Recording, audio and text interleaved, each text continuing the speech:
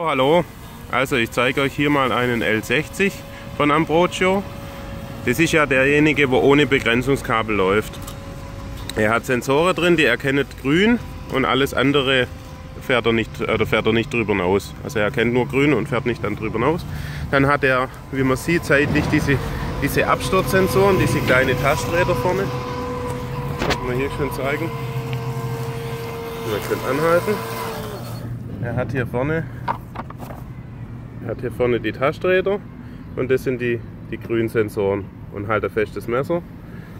Und vorne und hinten hat er, hat er den Anschlagsbumper.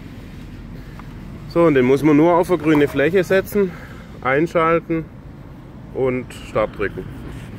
Und hier vorne hat er noch seinen, seinen Ladeanschluss. Ist jetzt ganz neu, seitlich hatten der hatte, seither hatte er das an die Räder, aber hier oben ist natürlich besser. So, drücken wir mal wieder Start. Also er ist im Prinzip sehr leise. Er ist ein bisschen lauter wie die anderen, aber im Alltagsgeschehen hört man es nicht.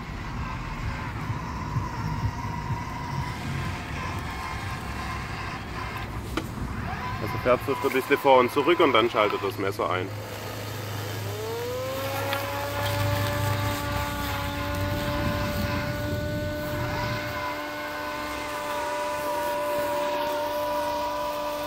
Ein sehr zuverlässiges und robustes Gerät.